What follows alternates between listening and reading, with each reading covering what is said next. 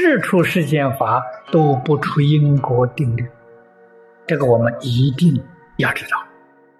真的是一饮一啄，莫非前定？谁定的？自己定。你这一生多财，是因为你过去修财布施多；你这一生聪明智慧，是你过去生中修习的法布施修得。佛家常说：“欲知前世因，我前世做了些什么，今生受者是。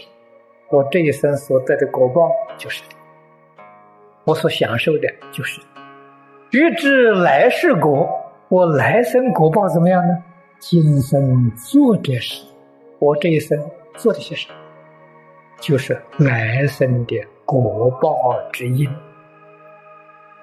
佛。”告诉我，财布施的财富，这个世间人发财的人，那财怎么发的？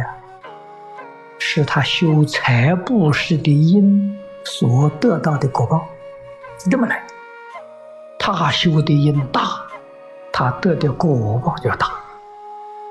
他修因的时候修得很痛快，修得很自然。他发财发的也很舒服，也很自在，好像不费力气的时候啊就发财了。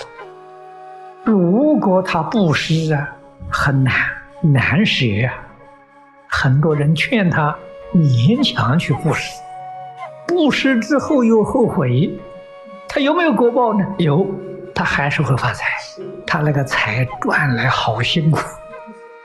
有的时候赚来不久又丢掉了，他后悔。所以呀，凡事都有因果啊，一点都不会差错。这个事出世间法呢，唯独佛的眼睛看得清楚，看得真切，一点没看错。法布施得聪明智慧，无为布施得健康长寿。你看看这三样东西，都是我们要的。哪个人不喜欢财富呢？哪个人不喜欢聪明智慧呢？哪个人不喜欢健康长寿呢？你喜欢这三样东西，你要不知道修因，这三种果报得不到的。我们学佛明白这一桩事情了，这一生受苦受难，自己晓得前世没修啊。真正明白了，现在就努力去修，勇猛精进不要等到来生，这一生就得果报。命是自己造的，命可以自己改，命运绝不是一成不变。正是佛法里头所说的原理原则，一切法从心想生。所以它不是一成不变，一报随着正报转，这是经上讲的原理原则。我们的心善行善，我们果报就善了。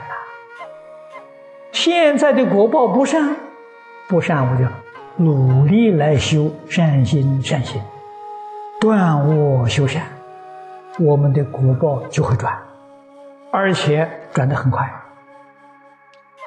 你相信，对自己信心有，然后用什么方法来改造？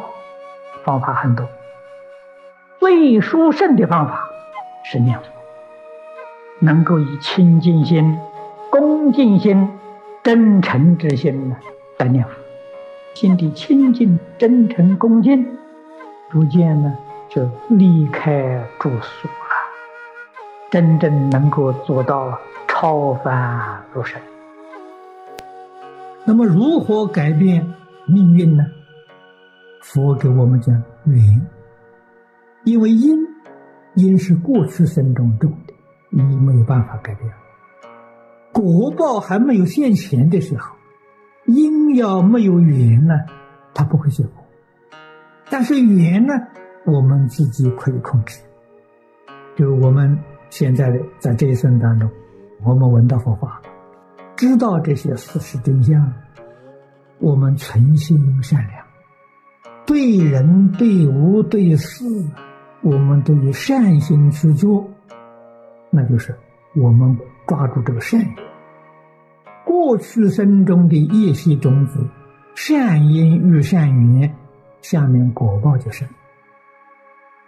一定要把这一生的所有一切的恶缘断掉，你这个好的果报就现前了。如果这一生当中依旧是贪嗔痴慢增长，念念做一些利己损人之事，这个事情就麻烦。你这一生所做的是恶缘增长，善缘减少了，将来的果报。你那个恶业种子就现行，善业种子不能现行。就佛教给我们改造命运、转变命运，都在一个缘字上。每一个众生都有成佛的缘，都有做菩萨的缘。换一句话说，也有堕阿鼻地狱的缘。这个东西全有啊，人人都具足啊。将来你要是哪一个道成熟，想到哪一道去呢？你明白这些事实真相啊，我们就有办法。佛给我们说出基本的原理：一切法从心想生，这是佛法根本的原理。为什么会成佛？天天想佛就成佛了。念佛是因。成佛是果，这是果报里面最殊胜的。由此可知，最殊胜的缘无过于念佛。所有一切善缘里面，念佛的缘最善。